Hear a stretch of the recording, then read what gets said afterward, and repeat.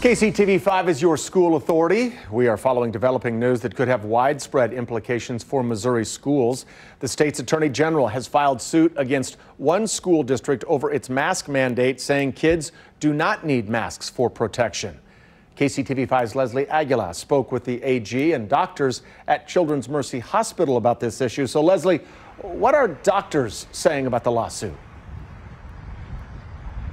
Brad, doctors didn't really comment on this lawsuit specifically, but they did say that they fully support masking in schools. Right now, there are 16 children hospitalized with COVID 19 here at Children's Mercy Hospital. Five of them are in the ICU. Now, that is obviously a way lesser number than the number of adults hospitalized with COVID 19, but doctors say even one sick child is too many. Doctors say the science backs up the fact that masking works in preventing the spread of the virus. But the Missouri Attorney General says the science says otherwise. Eric Schmitt, who I'll remind you is running for U.S. Senate, told me he's following the facts in science, which says mask mandates do not stop the spread of COVID 19. He also states that young children are much less likely to contract or spread uh, or get severely ill from the virus. Now, his lawsuit points to studies from the UK, Germany, and other countries to support the idea that the virus is a low risk to children and that masks are harmful to them.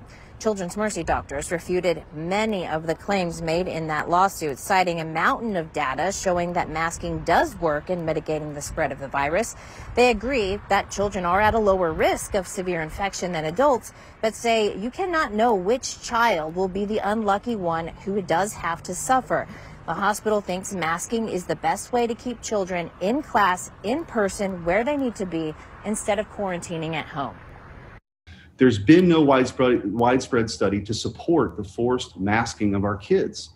And I don't want to live in some futuristic biomedical security state.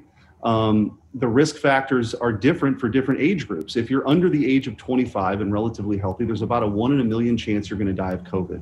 We want to prevent disease, not just because we want to prevent hospitalizations, but we also want to prevent multi-system inflammatory syndrome, which we know happens in children. We also want to prevent long hauler COVID, which although is pretty rare in kids, still happens. Now, Attorney General Schmitt told me that he thinks this is more about people in, in positions of power wanting to keep their power, and wanting more power, than it is about keeping children safe. When I told him what our local health leaders have to say, he responded that the CDC has politicized this issue and has eroded the trust in what he called public health bureaucrats and he hopes his lawsuit goes to trial. Reporting live from Children's Mercy Hospital, Leslie Aguilar, KCTV 5 News.